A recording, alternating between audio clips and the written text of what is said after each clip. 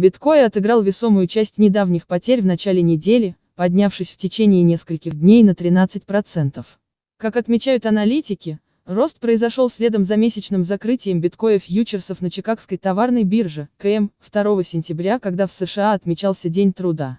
Американские рынки были традиционно закрыты, в том числе КМ криптовалютный рынок, работа которого не зависит от национальных праздников и прочих обстоятельств, начал расти, отказавшись следовать привычному паттерну снижения в понедельник. Крупный разрыв на КМ в день труда. Памп BTC начался ровно в тот момент, когда была закрыта КМ, пишет аналитик Алекс Крюгер. Large Labor Day KM Gap. Знак доллара BTC Pump started right when the KM closed pic.twitter.com slash kyledop12fl Алекс Круга, собака Краджер Макро, Септембр 2, 2019 Подобные разрывы образуются, когда основополагающий актив испытывает резкое изменение курса, пока деривативный рынок закрыт. Впоследствии рынок открывается ниже или выше уровня закрытия предыдущей сессии.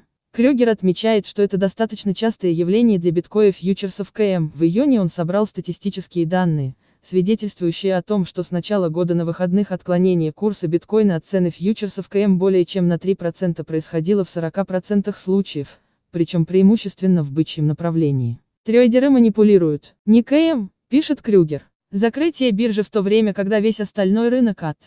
Полный текст читайте на сайте cryptofans.ru, ссылка на новость доступна в тексте под видео.